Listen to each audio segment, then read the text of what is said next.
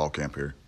Felt good to get the pads back on today. Um, you know, it's always exciting. You got a lot of new faces, right? I mean, we got a lot of different pieces than we had this spring, and so it's kind of for as a coach, you get to see two two different things there pretty early. You get to see your new guys, you get to see the older guys that have been through it a little bit now with this through uh, spring and summer. They know what to expect, and so you know, just seeing that initial growth, I think by those guys is is positive. Um, you know, and then seeing some of these new pieces that we have in, seeing them flash here early, you know, I think is a good sign. We got a long ways to go, but it's good to see those guys, you know, show something early on. a couple big plays on offense and the portion we got to see. Does it kind of feel like those guys are settling in a little bit to you?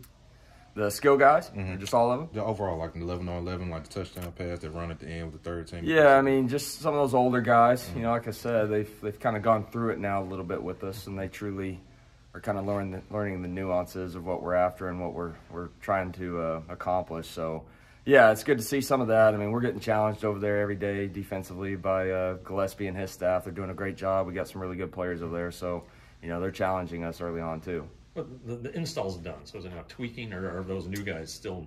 No, it's all still learning. Yeah, I mean, very early on in fall camp, we're back to install. It's very okay. basic early on, and and we just got to get comfortable with what we're doing, and then you can kind of build from there. So yeah, this is still kind of bare bones right now with us. So would another week of, of, bare bones, and then it, or does it gradually build like every day? Yeah, it's going to gradually build. You always kind of come back to you know to what you feel like you're going to be and your identity. So that's what we're still trying to chip away to as coaches. You got to identify that, and and we're going to do what we do. You know, at the end of the day, that's that's kind of what we're about. We put a premium on execution at the end of the day, and there's going to be a time to be creative and scheme and all that stuff, but we got to get really good at what we do.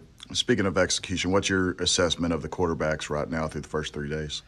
So positive things, you know, I mean, some positive things. I think we're doing a nice job early on of just distributing the football. I mean, we got a lot of different guys touching the ball right now, which is positive. Um, you know, and for the most part, we've, we've kept the ball away from the defense, which is always tough to do versus, uh, you know, Coach Gillespie and his crew and that side of the football. So that, that's the kind of the initial thoughts early on. We still got a long ways to go there. We still got a nice competition going on and, and uh, several guys getting reps. So – the good thing about that room right now is there's several, you know, really good players. Um, and they can kind of take something away from each guy, you know, and I think that's the positive thing for me as a coach. I'm kind of lucky and fortunate that those guys actually are learning from one another. You know what I mean? And they're excited about that. And so that's, uh, that's like I said, been very fortunate for me.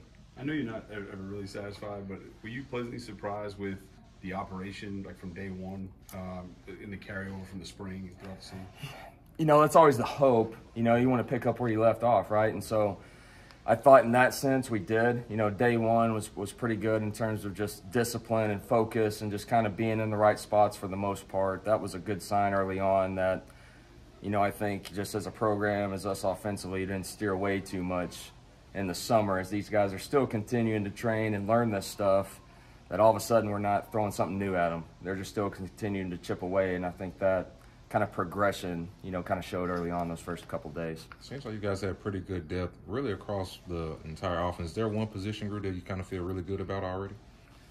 Yeah, we just got, like I said, I mean, you know, pretty fortunate situation. You got a lot of guys that have played a lot of ball that are returning, you know, at different positions, and so.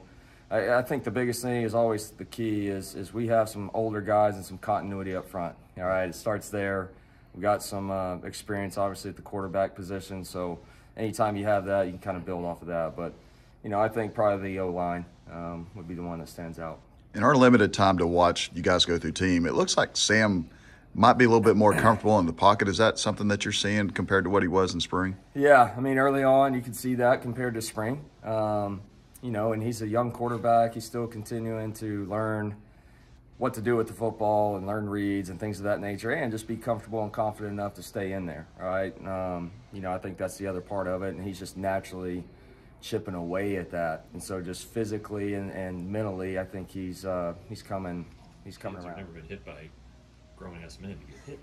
It's a little different. Yeah, no, it's a little different. Um, yeah, and so, you know, what that develops, um, you know, there's a lot of things that, that obviously develops, but I think just the trust in what you're doing and, and understanding that you still got a job to do and you can't lose sight of that, right? So it kind of always comes back to focus for us. And so that was the big thing for our guys today is just we got to keep a tremendous amount of focus all of a sudden, just because you can't get hit, we've got to emphasize ball security and just all these day one things. That's what you got to rely on. And I thought we did a decent job of that today, just, you know, seeing it in practice.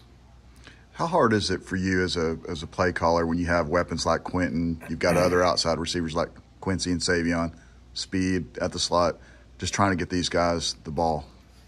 Yeah, I mean, you're always going to go into it just trying to get your, your best players the ball, okay? And so there's going to be times where it's going to be by design, there's no question. But there's the other part we feel like, um, you know, is a good thing for us and that we have a lot of confidence in. Is just based on what we do, there's going to be opportunities for everybody. There's going to be opportunities for a lot of distribution, like I talked about earlier. And so, you know, you've got to give the quarterback a lot of options, all right? And then we're, we're kind of in a spot right now where we feel like we got some guys around the people you mentioned um, that can provide for us and be productive.